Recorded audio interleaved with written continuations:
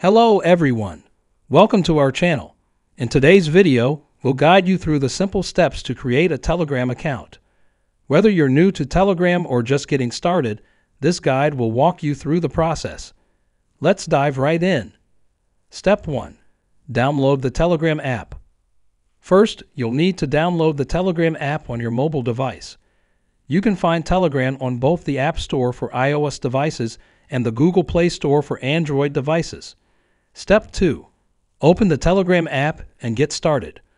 Once you've installed the app, open it on your device. When you open Telegram for the first time, you'll be greeted with a welcome screen. Tap on the Start Messaging button to begin the registration process. Step 3. Enter your phone number. Telegram uses your phone number to create and verify your account. Enter your valid phone number in the provided field. Step 4. Verification code. Telegram will send a verification code to the phone number you provided. Check your SMS messages for the code, and if it doesn't arrive, you can request a call to receive the code by phone call. Congratulations! You've successfully created your Telegram account.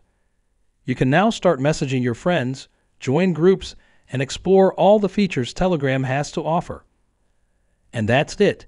Creating a Telegram account is quick and easy. If you enjoyed this video, don't forget to give it a thumbs up and subscribe to our channel. If you have any questions or suggestions for future videos, drop them in the comments below. I read and respond to all of them. Thanks for watching.